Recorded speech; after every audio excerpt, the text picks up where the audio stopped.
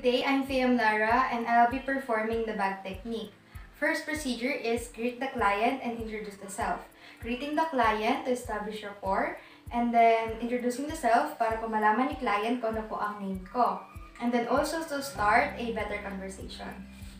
Magandang araw po, Ma'am Ann. Ako po si student nurse Fiam ng Manila Central University College of Nursing. And then next is um, state the purpose of the visit para po malaman ni client kung ano po ang ginagawa ko sa bahay nila and then what kind of health service or care or treatment ang ibibigay ko po. So, um, andito po ako sa inyo para lang po mag-conduct ng visit. Um, titignan ko lang po yung kalagayan ng kalusugan niyo po. Okay na po ba sa inyo yun? Okay po. And then, next is um, observe the client and identify health needs. Um, observing the client to assess and gather objective data para po makapag-plan sa ibibigay na um, health treatment later. So, kamusta po ang pakiramdam niyo, ma'am? May masama po ba kayo nararamdaman? Ah, may mga sugat po kayo or kahit anong karamdaman? Ah, na, may sugat po kayo. Natisod po kayo kanina. Okay, sige po. Mamaya po, lilinisin po natin yan. Now, place the paper lining in a flat surface or table and then it should be clean side out. Um, uh, placing the paper lining, this protects um, the bag from getting contaminated.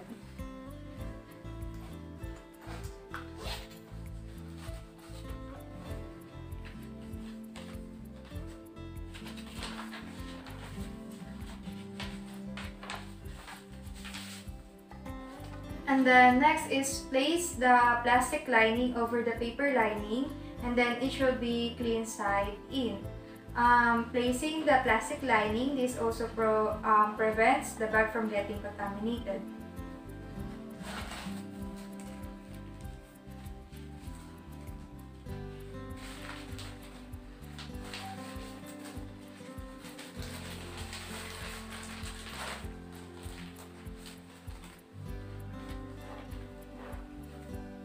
Next is um, place the bag over the linings and then tuck the handles. Um, tucking the handles para po hindi makasagabal while taking out all the necessary materials needed for the treatment.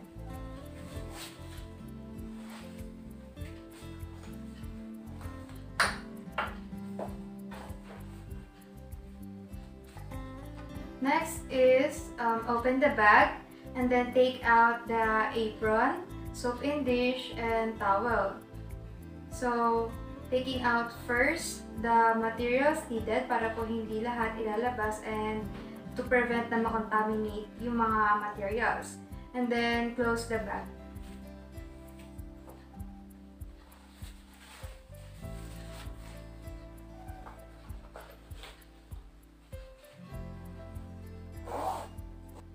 Closing the bag para po hindi makontaminate yung material sa loob ng bag. Next is do thorough hand wash. Um, do thorough hand wash to protect the client, also the care provider, and prevent transmission of microorganisms.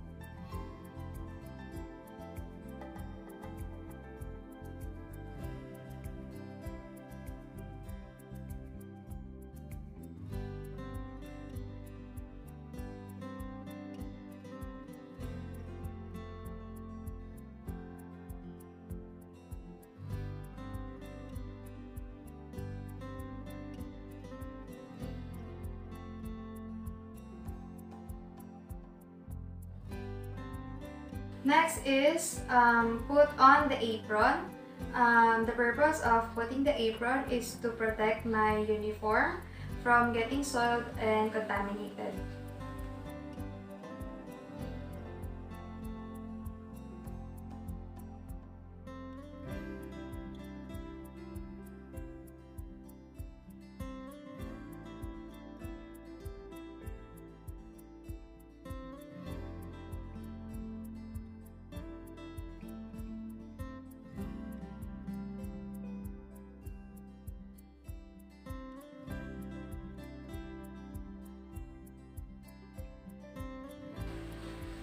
Next is open the bag and then take out all the necessary materials needed for the specific care or treatment and then place the waste receptacle outside the paper and plastic lining.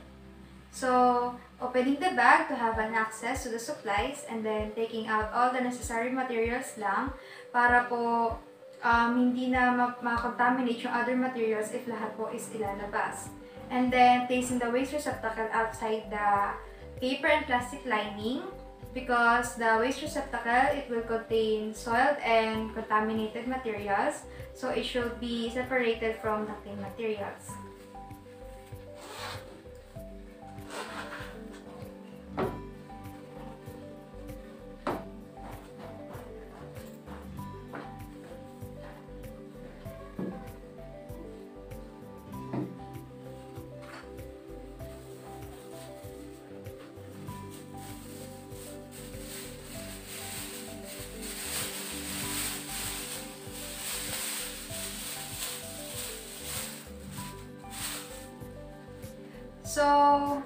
My materials are alcohol for cleaning the materials later, betadine for cleaning the wound, and then pick a forceps, sterile cotton, and then kidney basin.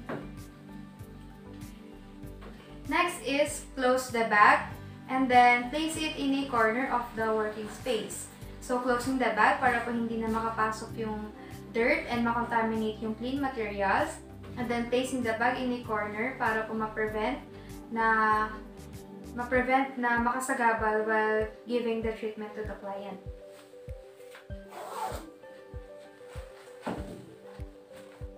Next is proceed in giving care or treatment to the client.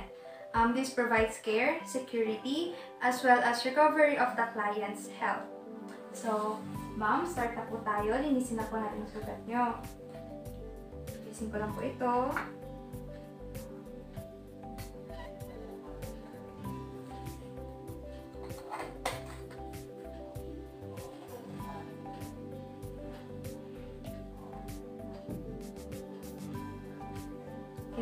Linisin na po natin. Medyo mahapdi lang po.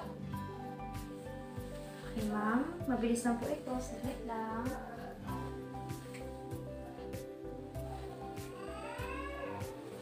Okay, ma'am. Last na po. Ayan, nabilis na po natin. Next is, um, after giving care or treatment to the client, clean or all the materials used. So, I will use my alcohol in cleaning the materials.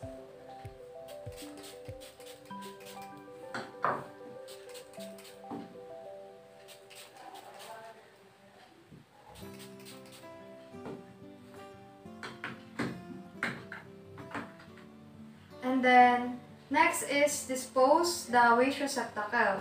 Um, the waste receptacle contains soiled and contaminated materials, so it should be disposed properly and immediately.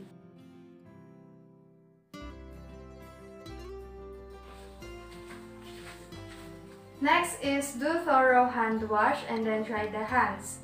This protects the care provider and also the client to prevent transmission of microorganisms.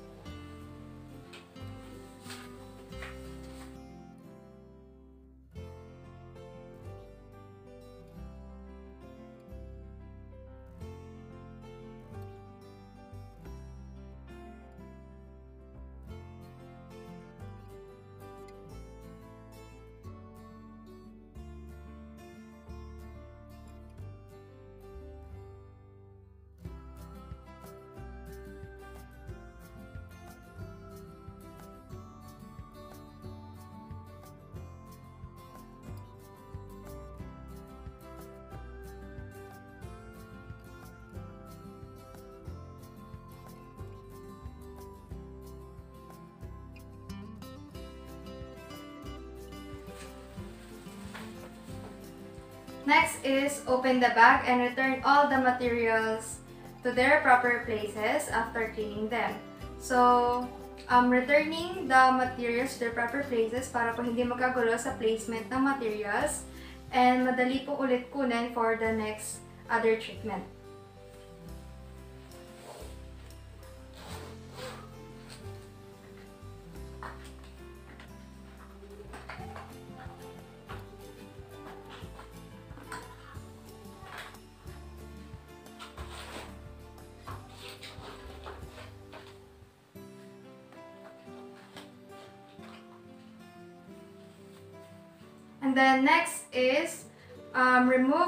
Apron by folding it away to the client. It should be soil side in and clean side out. Removing the apron um, away from the client para po hindi na mag-transmit yung microorganism kay client. And then, soil side in and clean side out para po pag binalik yung apron sa loob ng bag, ang magiging in contact na lang po sa clean materials is yung clean side.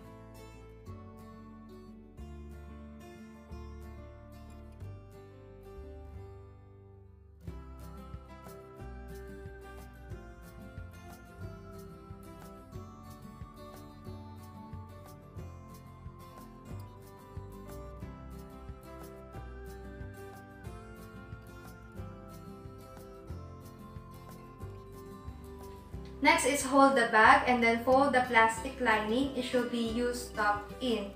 Um, in folding the plastic lining, kailangan po na um, use top in para po ang magiging in contact na lang po sa clean material sa loob ng bag is yung clean side.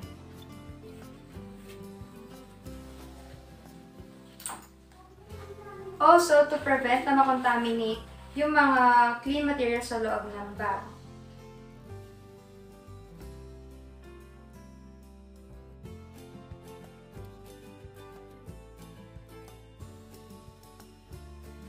And then next is place it between the um, bag and its cover para po madaling ulit kunin for the next other treatment. Next is dispose the paper lining. Um, paper lining is the most contaminated material so it should be disposed properly and immediately.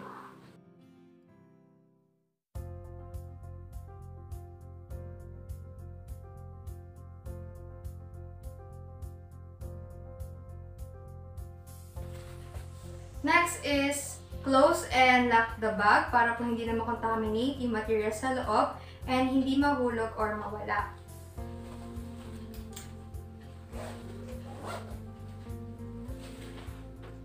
Next is take the record and have a talk with the client and then write down all the necessary data that had been gathered, observed, as well as the um, treatment rendered to the client. And then instruct the client about the health in the absence of the nurse. So, taking the record and writing down all the data that had been gathered to have a reference for the next visit.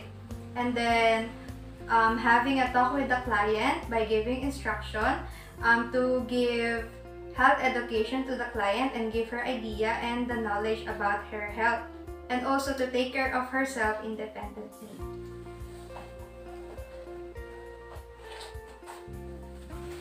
So, Ma'am Ann, um, yung sugat niyo po is gagaling na po siya if um, nilinis niyo po, nilinis niyo po siya araw-araw. And napansin ko lang po is palagi pong basa yung labas ng bahay niyo. Um, try niyo po na huwag mabasa po ang inyong paa para po mabilis na gumaling yung sugat niyo po. And then, um, so ngayon pong visit natin. Um, next week po, magbivisit po ulit ako. Uh, Friday, um, 8 a.m. Um, November 8. So, babalik ulit ako dito para po i-check yung um, para po i-check ulit yung sugat niyo kung gumaling. Okay na po ba sa inyo yun? Okay po. Lastly is make an appointment um, if it is home or clinical visit and then take note the date and time. The purpose is for the follow-up care of the client. So I already tell the client about the visit. So it is a home visit and I will visit her next week. And I also take note the date and time. So that's all for the um, technique.